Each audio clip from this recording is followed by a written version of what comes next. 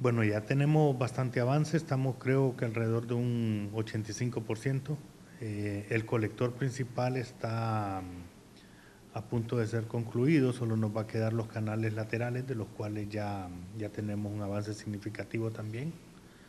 Esperamos que en esta semana se terminen los dos elementos estructurales que son componentes principales del colector.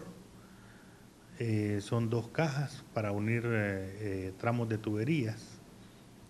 yo estimo que en esta semana ya podremos tener conectado y habilitado el colector principal.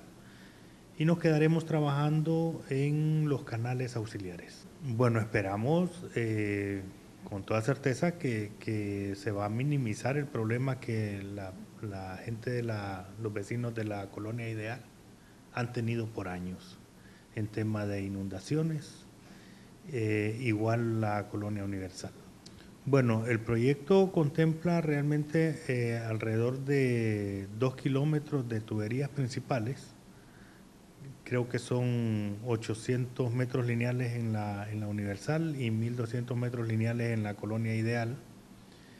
Y también una cantidad similar de canales eh, auxiliares que van a ser los que van a colectar el agua para llevarlo hasta el colector principal, eh, el cual va a evacuarlo al canal.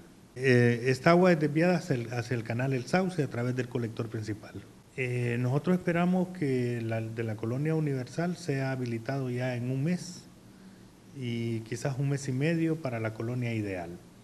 Es un proyecto que se está ejecutando con fondos municipales, eh, de los cuales pues los vecinos no tendrán que, retornar eh, un centavo, según lo acordó la, la honorable corporación municipal y nuestro señor alcalde.